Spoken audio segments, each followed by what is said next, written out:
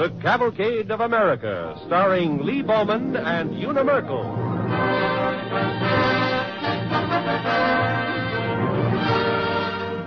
Tonight, the DuPont Company brings you The Stirring Blood, starring Lee Bowman and Una Merkel on The Cavalcade of America. First, here is Gayne Whitman. Good evening. In your plans for keeping a lovely, gracious home, don't overlook the appearance of your floors. Avoid unsightly scarred floors by using DuPont slip retardant wax. The wax that is easy to apply, that dries to a smooth, rich luster. This fine wax has the added safety factor of being slip retardant. It reduces the hazards of slipping and skidding. DuPont slip retardant wax is water resistant, too. Try it on your floors and see how lovely they can look. You can use it on wood, linoleum, or composition floors. Use it on woodwork and furniture, too. Slip retardant wax is another of the many DuPont better things for better living through chemistry.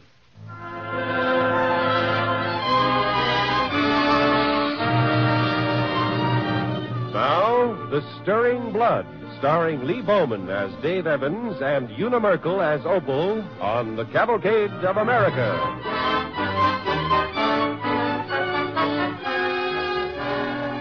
I don't care where he is. Get him here. Get Dave Evans in this office in three minutes or I'll fire the whole staff. You heard me. City desk. Oh, Collins. Good. You'll do. Now, look. Get out to LaGuardia Airport right away. There's a plane due in from London. I want you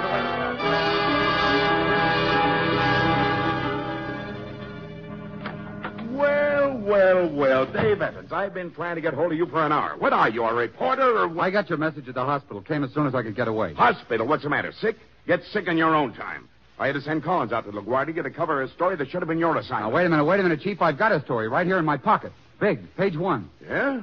Well, okay, okay. Let's have it. I just came from the hospital. Eyewitness. A miracle. I got the whole thing, too, exclusive. Save the build-up. Give me the story. Okay, here it is. A scoop. By applying the RH blood factor, they've solved a case of erythroblastosis. Uh, what was that? Erythroblastosis. Are you gagging? I'm giving you a page one scoop. For what, the encyclopedia? I'm telling you, I've got a story. It's one of the greatest medical miracles that ever happened. What's the matter with you? Best man on the staff, and suddenly you go crazy over some crackpot medical item. Crackpot? Yeah. It's the most fantastic life-saving miracle that ever happened. But it isn't news, Dave. This is a newspaper. Chief, it's the biggest news since Noah struck land. Dave, will you get out of here before I throw you out? You've got to listen to this, Chief. It's a miracle. I saw it happen. Now, when you get a baby with erythroblastosis... Well, I'm... Go ahead, bust the furniture, tear your hair, but I'm going to write this story. And what's more, I'm going to do a Sunday feature on it. And if you don't want to ever listen to it, I'll write it for somebody else. Wait a minute, wait a minute. Where are you going? Out the door. I quit. Oh, cut it out now. Don't be so touchy. Sit down. I'll listen to it, but I won't understand it. Dave, this is a newspaper, not the Doctor's Quarterly. There's no way to get that scientific stuff clear to our readers. How about giving me a chance? You kidding? Why, the readers would get to the second syllable of that word, dairy... Erythroblastosis. Yeah, then they'd turn to the comic page. Listen. See that girl out there at the third desk? Which one? Uh, the one with the toothpick. What about it? Well, she's the dumbest blonde in this office. Give me ten minutes with her, and if I can't get this story through her head in that time, I'll spend the rest of my newspaper days on the society page. Is that a deal? You're going to explain the thing to Opal? Sure. Sure I will. You got yourself a deal. Wait a minute. Opal? Opal! Hey, wake up!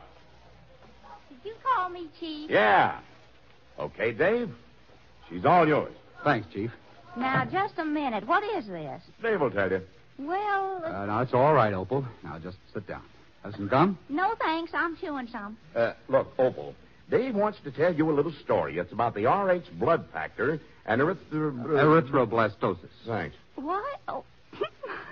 Now, you see? See, she's hysterical already. Uh, just a minute, Chief. Opal, hmm? that's a beautiful ring you've got. Hmm. Engaged? Mm-hmm. To my man. Oh, fine. That's good, Opal. But did you know that before you get married, you ought to find out what kind of blood your man has? Blood? It's red, I guess. Yeah, yeah, but uh, I, I don't mean that, Opal. I mean, before you marry, you ought to find out his RH factor and your RH factor. Are you kidding? No, Opal, I'm very serious. You see, if a woman's blood is what they call RH negative and a man's RH positive, there's danger their children may not live. Oh, You mean that could happen to me? Sure, if you're RH negative and he's RH positive. Well, I know he's awful positive about certain things. Uh, no, no, Opal, I, I don't mean that. Then what are you talking about? We're not sick, if that's what you mean. Oh, no, no, no. This, this thing happens to perfectly healthy people. Opal, are you listening? Huh? Oh, oh, sure. We're healthy, but we're not. Hmm. Dave, two minutes are up, and you're not on first base yet. Now, Opal, just remember this. There's blood that's RH negative and RH positive. You got that? Sure. Negative and positive. Just the opposite to each other. Sheer genius. Quiet, Chief. Listen, Opal, before we start on that big word, erythroblastosis, we've got to work backwards. First, types of blood, and second, the RH factor in blood. Now, take another stick of gum and relax. You see, Opal, inside us there's a wonderful organ called the heart. It beats steadily, quietly. And because it beats, the blood flows through our bodies. The heart throbs. The blood flows. It seems so simple, so natural. But blood isn't simple. Somewhere in the blood lie murderous elements. Back in 1900, they gave transfusions. They thought blood was just blood. Everybody's the same. If a man needed blood, they gave him a transfusion. But it didn't always work. Why, the same blood that saved one man on Sunday would kill another on Monday. What was this killer in the blood? Doctors were baffled. Now, there was one particular doctor. His name was Karl Landsteiner. He and other doctors worked night and day in the laboratory, trying to track down this killer in the blood, trying to learn why a transfusion saved one life and snuffed out the next. Robert, that makes ten samples of blood from ten different people, including you and me. Yes, sir. Ten centimeters each. So, we have ten different bloods. We'll start with a simple experiment. Your blood we will use first. Get me four test tubes. There they are. We're going to divide your blood into five equal parts. Two cubic centimeters in each tube. Correct. We'll leave 2 cc in the original test tube. Keep that pure and unmixed. The others we'll mix with different bloods. Uh-huh. The next one is Arthur's blood. We'll pour two cubic centimeters of his blood into yours. Mark this one Robert Arthur and put it on the rack. The next one is Lillian's. We'll pour two cc of her blood into yours. Mark it Robert Lillian.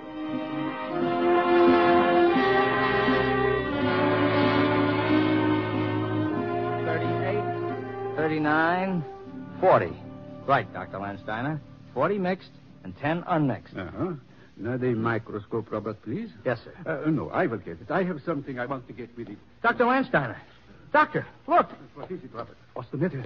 Well, look what's happened to this mixed sample. Mine and Joseph's. Blood is clumped. All clumped up. Huh. That's funny. And the next one, Joseph and Lillian's, that too. Nothing wrong with this one. Joseph's and Arthur's. Hmm, clumping of blood. What happened, Doctor? Happened? Robert. Robert, of course, don't you see? Some bloods will mix and some won't. Well, that's what it looks like. That's what it's got to be. Why, if this thing happened in the body, the person would die, does die. The transfusions that fail. Exactly. We've got the beginning of an answer to the problem of transfusion. Why, it's so simple. Some bloods will mix, some won't. Oh, simple, Robert. Well, isn't it? No, I don't think so. There is always the big word, why. Why does it happen? You see, now we must find out what it is that causes this, uh, this fatal clumping of the blood cells. Quickly now, Robert, the microscope.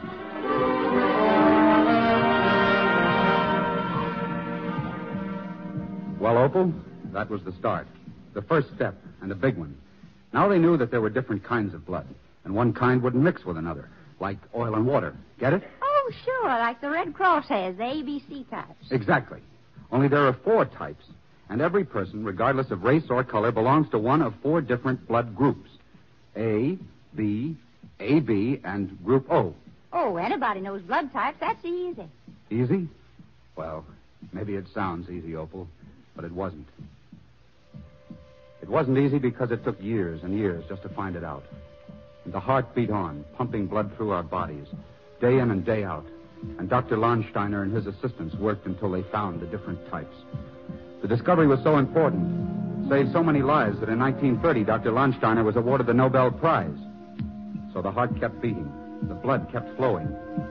Doctors breathed a sigh of relief because it seemed the mystery was solved. The killer in the bloodstream was caught. But deep down in the bloodstream, pumped through by that quiet throb, was another killer. One afternoon at the hospital, one of the doctors who'd been working with Dr. Landsteiner was giving a blood transfusion. Suddenly, everything went wrong. He sent for Dr. Landsteiner.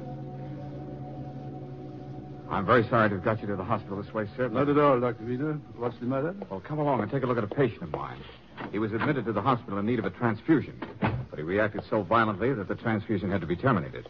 Uh, that sounds as though there were an error in grouping. Was there? No, sir. I checked everything myself. Both donor and recipient were Group A. Did you cross-check? Yes, sir, several times. Hmm. It's very odd. Well, it happens occasionally. At this hospital alone, there have been more than half a dozen cases where the transfusions had to be stopped, despite the fact that the groups were right beyond any doubt. Hmm. Uh, how about other hospitals? What do their records show? You've looked into that? Yes, sir. Similar cases. Some deaths have occurred. Uh, patients in here, Dr. Monstein. Well, Mr. Gordon, feeling better? Yes, thanks, Dr. Wiener. Good, good. Mr. Gordon, this is Dr. Landsteiner. How do you do, Doctor? Uh, good afternoon. Uh, Mr. Gordon, I'm just going to ask you a few questions. Did you get a backache during the transfusion? Yes, I, I did. You also had severe chills? I shook like a leaf.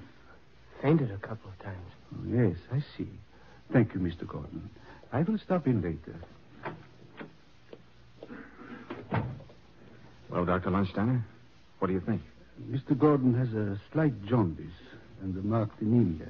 Definite sign of incompatibility of blood. Mm, yes, I know, sir. But the blood matched. The donor was Group A, Mr. Gordon's Group A. Mm-hmm. And uh, what conclusion do you draw from that, Dr. Wiener? From uh, Mr. Gordon's case and the others? Well, there's only one conclusion I can draw. That there's something in the blood we don't know about. Something beside the grouping we already know. Yes, I do think that. I think so, too. All right, Dr. Wiener. Meet me at my laboratory tomorrow as usual. There's only one thing to do. Continue our research until we find out what else is in the blood that kills.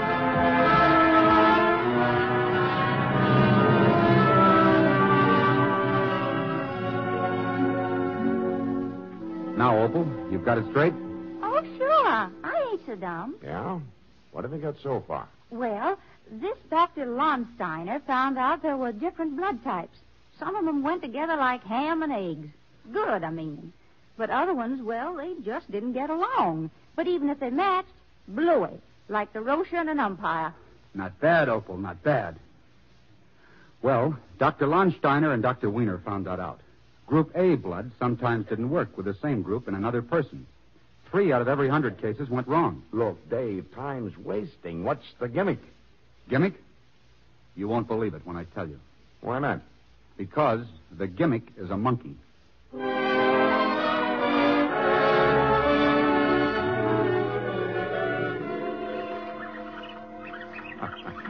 I never get tired watching these little clowns. These rhesus monkeys are delightful. yes, and they are very easily domesticated, too. But we have work to do, Dr. Wiener. Mm-hmm. Want to read our notes so far? Uh, yes, I do. Uh, let me see. Six weeks ago, we injected 5 cc of a rhesus monkey's blood into a guinea pig. Mm-hmm. I've drawn off the serum from the guinea pig. It's all ready. Divided up into 12 test tubes. Mm-hmm. I hope we have enough serum. Well, we've got 12 different samples of human blood. That means we have just about enough. All right, Dr. Wiener. Let's add one cc of different human blood to each tube of the serum. All right, Doctor. I'll work from this end. You can start from where you are. Yeah. No reaction from this first tube. None here. Or the second. Or here. Or the third. Or here. Or the fourth. Look here, Oh, Dr. Landsteiner. This one.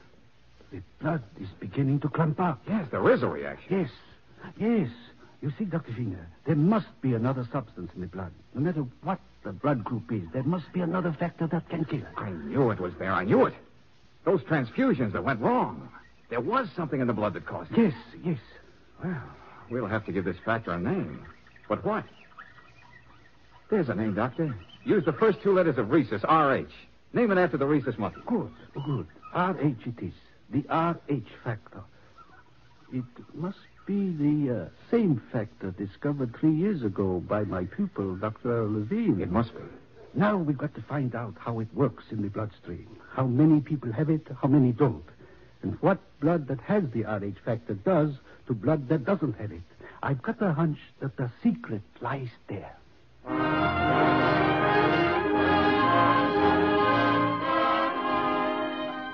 You are listening to Lee Bowman as Dave Evans and Una Merkel as Opal in The Stirring Blood on the Cavalcade of America, sponsored by the DuPont Company, maker of better things for better living through chemistry.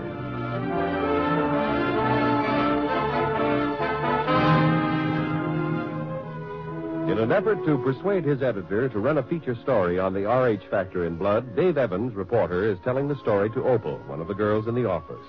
Dave has reached the point where Doctors Landsteiner and Wiener discover the factor. Dave continues. Now, Opal, most people have the RH factor in their blood. They're called RH positive. Mm-hmm. Uh, now, those who don't have it are called RH negative. Uh-huh. Then what? So, nowadays, when they give transfusions, they not only match the blood type, but also the RH factor. If a person who's RH negative gets a transfusion of RH positive blood, does he die? Uh, no, not, not at the first transfusion. But you just said they had a match. Yeah, I, I know, I know, Opal, but there's this. RH negative blood hates RH positive, puts up a battle. But to fight a battle, it needs an army. To raise that army takes time. More time than the transfusion takes. But, but between the, the first and second transfusion, the RH negative blood has raised an army to fight the positive. And the killing starts. Oh, who kills who?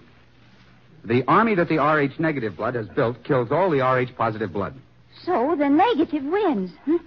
Then what? Ah, now that's where you're wrong, Opal. The RH negative wins the battle at first. The enemy is dead, sure. But thousands upon thousands of the dead enemy are floating down the arteries. And what happens? What? This. The dead enemy clogs and clumps, literally chokes the life out of the victor. So it's no victory after all. How do you like that? Have you got a piece of paper? Yeah, sure. You want to write some of this down? Uh-uh. I got to get rid of my gum. I've been chewing so hard my jaws hurt. well, here you are, Opal. Thanks. Now, Mr. Evans, tell me about when I get married. Well, first, I've got to clear up one more thing. Opal, suppose an RH negative person gets a transfusion of RH positive blood. What happens? You just told me there's lots of trouble the second time. Good. But now remember, I said that most transfusions worked even before the RH factor was discovered. I remember. You know why? Because if you're RH positive and get a transfusion of RH negative, there's no trouble at all. And no matter how many transfusions you get, and, and 85 out of 100 people are RH positive. I get it. That makes only 15 out of 100 people RH negative. So if there's 100 transfusions, maybe 85 of them would be RH positive. Right. And they could take either negative or positive without conking out. Opal, I love you. You see, Chief, most of the transfusions were successful because more people were RH positive. But if an RH negative person had to have a, a, a- a transfusion. You see, Chief, it'd be like having 85 red hats in a room with 15 green ones. If you had to reach in in the dark and grab one, you'd probably get a red one because there are more of them. Opal, I'll switch to your brand of chewing gum. She's right, Chief. Before the RH factor was discovered, it was like reaching in the dark. Doctors would match blood groups of donor and, and recipient, but knew nothing about the RH factor. And, and if an RH negative person was getting the transfusion, chances are the donor was RH positive, and that caused trouble. I get that, Mr. Evans, but now how about me getting married and having babies? That's my last point. What happens to a baby if one parent is RH negative and the other is RH positive? Does he die? That's what the doctors had to find out. Does the blood of the unborn baby fight the blood of the mother? Does the blood of the mother kill the baby? Well, one day another doctor came to see Dr. Wiener.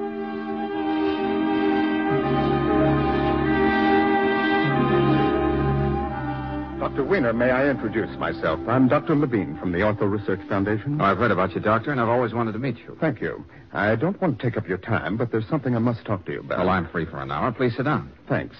Well, we've been spending a lot of time on erythroblastosis. You know what it is, of course. Well, I've never had any direct experience with it. I know it strikes at unborn and newly born infants. Yes. Well, it's not exactly a disease, Dr. Wiener. There are no germs, no observable cause. A baby might be born and appear normal and healthy. A few hours after birth, it becomes jaundiced, and death inevitably follows. Yes, yes, I've heard that. Strikes haphazardly, too, doesn't it? I mean, there's no set pattern. Hmm, As far as we know, it could happen to any mother in any family. Mm-hmm. But you've got an idea, is that it? Yes. I'm almost certain the RH factor is involved. And it's identical with the one I discovered in 1937. Now I can prove it. Of course, we know that the RH factor is inherited. If both parents are RH positive, so the child will be. No harm can come from that. Yes, but suppose the parents are opposite. Well, then the chances are the child will be positive, because the positive is the dominant trait. I see.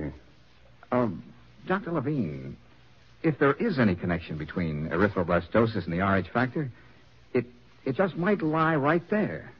That is, if a negative mother is carrying a positive child. I've been working along that line. Now I should like to try your serum. Go back and determine the RH factor of the parents whose infants have this disease. Of course, I'll do everything I can, Doctor. And whenever you want me, any time, just call me.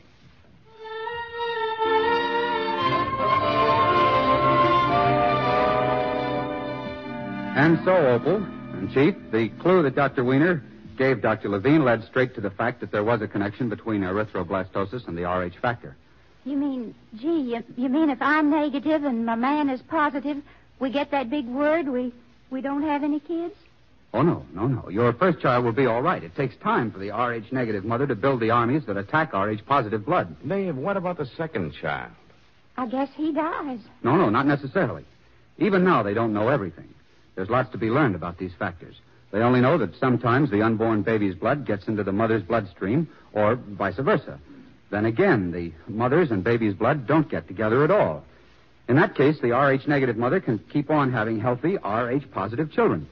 So uh, don't be scared, Opal. Have all the children you want. But the chances, what are they? The chances of a child being hit by erythroblastosis are only one in three or four hundred.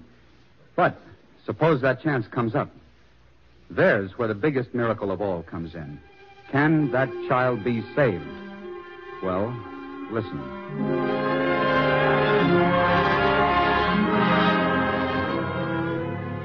Glad you got here in time, Dr. Wiener. We've only a few minutes. The child isn't born yet, Dr. Levine? No. This way, please. I'll fill you in briefly. This woman about to have her third child. What's the factor? RH negative. In here, please. We'll scrub up first. You said the mother's RH negative, and the father? Positive. What about the first two children? On the first, perfectly normal. Second, born dead. This third one, well, death is almost certain. Unless we can do something about it. We can try, Dr. Levine. I know now that erythroblastosis is brought on by the two different RH factors of the parents. Yes, but if we should draw out all the child's blood and then transfuse it with RH negative blood that's never had any contact with positive blood, we might save the child. It's the only way, I'm sure. Then, Opal, Chief, those two doctors went in to pull that child away from death. And what chance do they have? Every chance you can give men. Men who live so that others may live. We're ready. 300 cc of RH negative blood to use if it's necessary. But first, we'll take a test of the infant's blood. I've explained it to the obstetrician. He's cooperating with us all the way. It's a girl, Dr. Levine. Seems all right. Let me look at her. She looks normal, Dr. Winner, but her skin color. Bronze. Usually a sign of blood disease. Better take a blood count right away. Yes, that's indicated.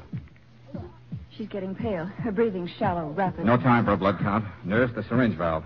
We'll draw off the blood and inject fresh blood right now. And that's what they did, Opal. Drained out the dead blood, pumped in the new. That makes it how much? 250 cc's of new blood. Her color's coming back. Heartbeat? Stronger. Hemoglobin level, 75%. She's out of danger. Nurse, you can take her back to the nursery now. She'll be all right.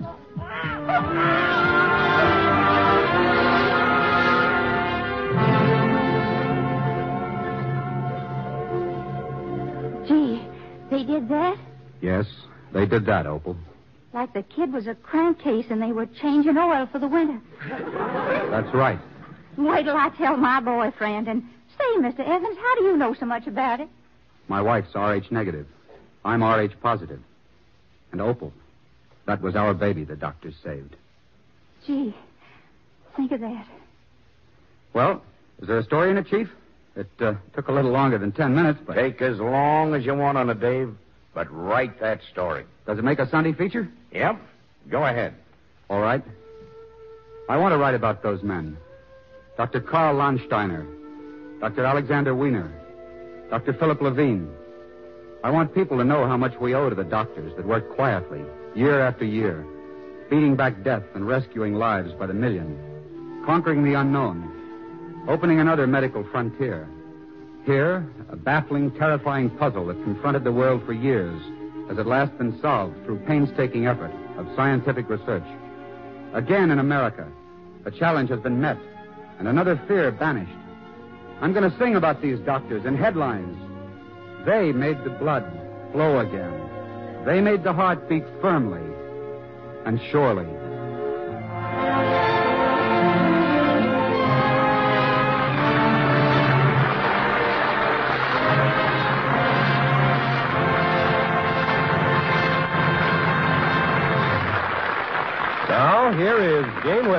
Speaking for DuPont. About this time of year, something like five million American farmers are getting ready for fluffy golden little chicks. And next fall, these chicks, then mature productive hens, will be laying eggs for you. In the old days, that was about all people knew about hens, that they laid eggs. Today, we know a great deal more. Some 25 years ago, for instance, scientists learned that hens laid more eggs, in wintertime especially, if their feed was enriched with vitamin D, the sunshine vitamin. Cod liver oil and other fish oils were therefore added to poultry feed because they were found to be a good source of vitamin D. And for quite a few years, they were the only commercial source of the vitamin. Then, however, DuPont biochemists found that certain organic materials, when activated with ultraviolet light, gave unexpectedly high vitamin D activity for poultry. This was an original discovery by DuPont.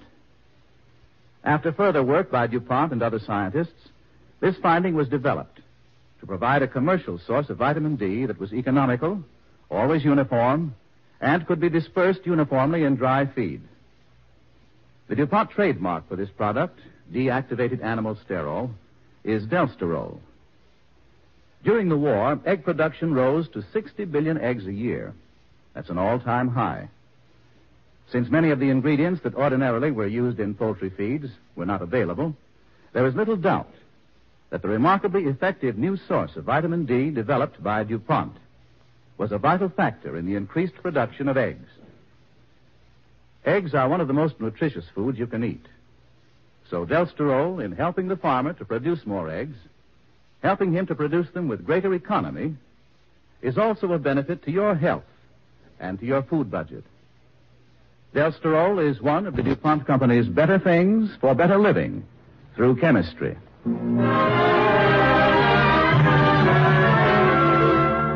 A small boy gazes in wonder at the most beautiful garden in all California and soon becomes the fast friend of the owner of the garden, Luther Burbank. Through this boy's eyes, we see the development of many great miracles in plant growth and witness a test of courage brought about by misunderstanding and superstition. This story of one of the greatest geniuses in the horticultural world will be heard next week when Cavalcade brings you The Man with Green Fingers, starring one of America's great actors, Lionel Barrymore, in the role of Luther Burbank. Make it a point to listen regularly to Cavalcade. In the coming weeks, then, you will hear Lionel Barrymore, Henry Fonda, Thomas Mitchell, and other famous Hollywood stars brought to you on the Cavalcade of America. The music for the DuPont Cavalcade is composed and conducted by Robert Armbruster. Tonight's Cavalcade was written by Sigmund Miller and Halsted Welles. Lee Bowman appears through the courtesy of Columbia Pictures, producers of Johnny O'Clock. Una Merkel is soon to be seen in the Eagle Lion picture, It's a Joke, Son. In the cast with Lee Bowman and Una Merkel were Ken Christie as the editor, Herb Butterfield as Dr. Landsteiner, Bob Bailey as Dr. Wiener, Stanley Waxman as Dr. Levine, and Jerry Hausner, Ann Tobin, and Hugh Thomas. This is John Heaston inviting you to listen next week to Lionel Barrymore in The Man with Green Fingers on the Cavalcade of America, brought to you by the DuPont Company of Wilmington, Delaware.